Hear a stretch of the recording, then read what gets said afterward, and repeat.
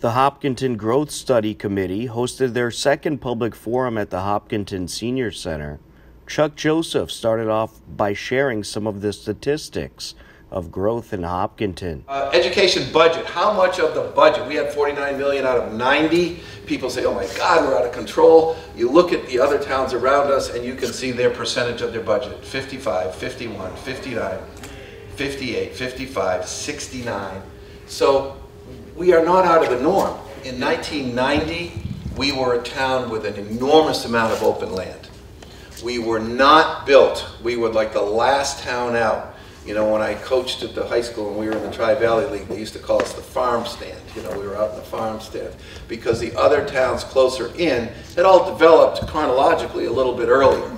Medfield, Westwood, Holliston. They all developed earlier, and then the growth got out to 495, and between 90 and now is when we've experienced our most significant growth. And that growth has gone from about 7, 8,000 to about 18. You can see the percentages in 95, between that five years, it went up 17%.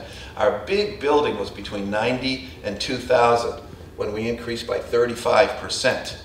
And then it's been fairly consistent, but a lot slower since 2000. The population change at that period, you can see that there's the increase over the previous period is in red, and then the percentages are in the, in the blue, and that kind of mirrors the, the whole growth. You can see that it's been very gradual but very consistent.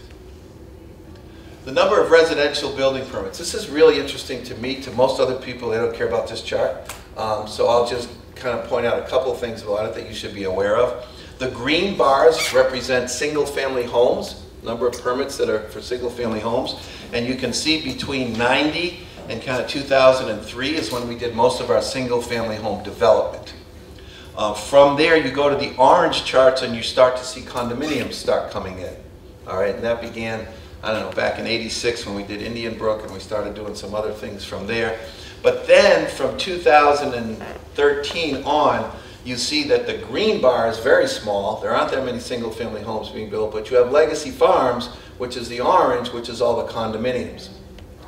So the blue, you see two big blue spikes there, one spread out over two years and one in 2016. Those are the apartment complexes that were built in town.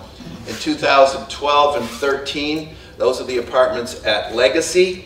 And then in 2016, those are the Madeira apartments down behind 110 Grill. The participants then divided up into groups for discussion about their thoughts for what the town needs. So um, the forum today was about the Growth Study Committee has been meeting since the summer of 2019. And we've been trying to just gather a lot of data to get a starting point of what the growth has been, um, how do we compare to other towns, um, what was what's the history of the growth, and where are we you know what's the expected growth. And we want to share the data that we've learned with the residents and get their feedback and then we're going to go back and do more work and hopefully make some recommendations to the town um, yeah to the town and the planning board. And we're not really ready to make the recommendations yet but uh, let's see but we've been working on that. Um, and we want to we want to take the feedback back and um, we probably will continue working for another couple of years because it's it's a lot of work to do and it's hard to get consensus so Anyway, we have a lot of work to do, but we appreciate everyone's feedback. Please feel free to email us or visit the website. Our presentation will be on HCAM and as well, um, let's see, it'll be on the website too if you want to view it at home when you have time. After the group discussion, some idea sharing took place. And uh, one big question is uh, not necessarily providing housing per se, but how can we help seniors stay in their houses?